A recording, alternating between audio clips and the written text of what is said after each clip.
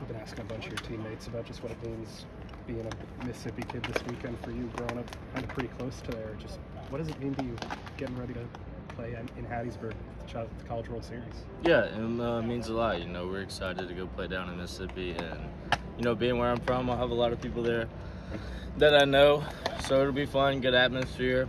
Uh, we're gonna get after it. Uh, I know they're not afraid, and we're not afraid. We're just gonna get after this weekend. It's gonna be a lot of fun this weekend. I'm ready to see it happen. What have you seen from the way Mallitz' slider, from from your vantage point, has gotten so much better over the course of the season? Yeah, no, he's definitely developed his slider and his other pitches a lot. You know, he's become you know a lethal weapon for us out of the pen, and you know I hope he carries it and continues it, and we look forward to using him. Mason's another guy that's really developed late. Just he's another guy with that slider. What's Mason doing well that's working for you guys? Uh, the pounding the strike zone. You know, he's going after hitters, not giving up freebies. Uh, you know, he's going right after him, attacking them first pitch, and I think that's you know really key coming out of the pen. He's done that well, and I think that's why he's had success. Have you ever seen Hunter Elliott get rattled? It seems like nothing ever really faces that guy.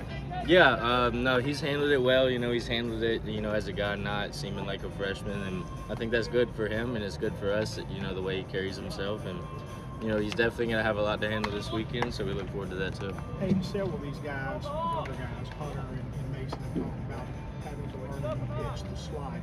When guys are learning a new pitch like that, can you tell it as a catcher? Do you encourage them in any way, help them? What's that process? Yeah, no, it's a long process, and uh, you can tell things just by the way they hold it, and the way the ball's spinning, the way you know the action of the pitches and everything, the bite it has, how late it moves.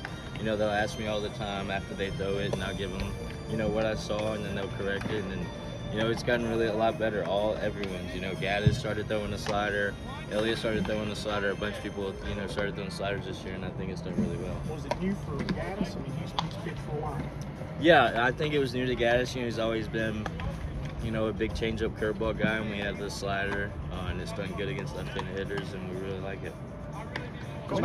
Is Washburn the only curveball left, like from a primary, secondary thing? Man, uh, honestly, I don't know. Uh, you know, he's even, you know, done his own thing with his pitches, and you know, everyone has what they have, and you know, I'm just back there catching it and just comfortable whatever they're throwing. It makes me comfortable. So.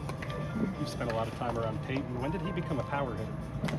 Man, uh, I still don't think he is though. uh, no, I'm playing, but uh, you know, Peyton's just a ball player. You know, he plays hard, plays the game it's supposed to be played, and you know, he gets rewarded for it, and you know, he should.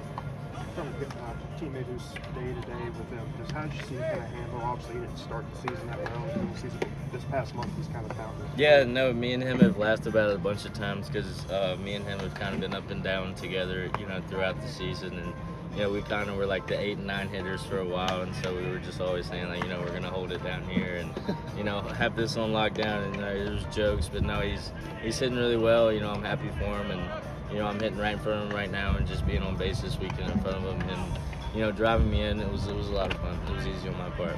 Going back to the Mississippi storyline, obviously, you know, once being, being from Mississippi and all that, and seeing the success, you know, over the years at Ole Miss, some of this, and even Mississippi State, you know, this over the years. I mean, what, what in your mind do you think makes college baseball so unique, just in this state, just compared to you know everywhere else? I would honestly say the fans. You know, the fan base is just more bought in. You know, it kind of seems like a life or death scenario for the fans whenever they're cheering for their team. Um, I think that's what makes it electric, and that's what makes you more bought into it. But that's just me. Going back to the slider, think it's something that a lot of guys have picked up. What is